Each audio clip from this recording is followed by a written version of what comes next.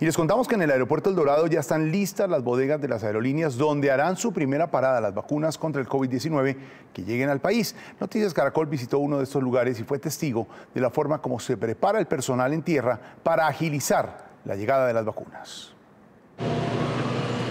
Estos hombres trabajan para bajar su tiempo de carga y descarga de un avión en las plataformas de carga de Avianca en el aeropuerto El Dorado de Bogotá. Lo que buscan es reducir el proceso de media hora a 10 minutos. Para ellos, allí está el éxito en la manipulación de las vacunas contra el COVID-19 que llegarán al país en vuelos de esta aerolínea. En el caso de la vacuna o productos de temperatura sensible, los aviones tienen compartimentos también donde podemos descargarlos primero y ser trasladados inmediatamente a nuestras áreas de almacenamiento. Aviones como este Airbus 330 tienen capacidad para movilizar entre 40 y 60 toneladas. Una vez en territorio colombiano, las vacunas, el desembarque de las vacunas debe durar aproximadamente 10 minutos. Inmediatamente ingresarán a este cuarto de refrigeración, que es una cámara especializada en la conservación de fármacos. Tiene una temperatura entre los 2 y 8 grados centígrados.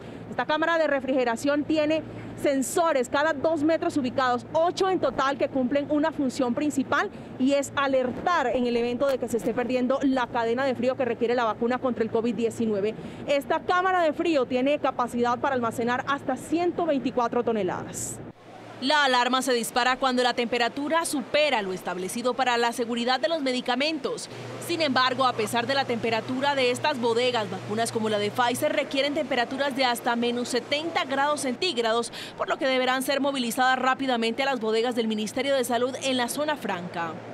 El otro reto para las aerolíneas, además de la velocidad en su operación con las vacunas, está en el transporte de las dosis a los sitios más cálidos del país, donde la temperatura ambiente puede estar entre los 30 y 37 grados. En sitios calientes o en sitios de altas temperaturas, como es la costa atlántica, el Valle del Cauca, la parte sur de Colombia, eh, el transporte aéreo eh, nos da la capacidad de tener en menor tiempo la carga en ese sitio con unas temperaturas controladas, como ya lo expliqué, en términos de las bodegas de los aviones. Además de Avianca, otra aerolínea que traería las vacunas al país es la TAM. Sin embargo, hasta el momento no se ha precisado la fecha en la que comenzaría esta operación.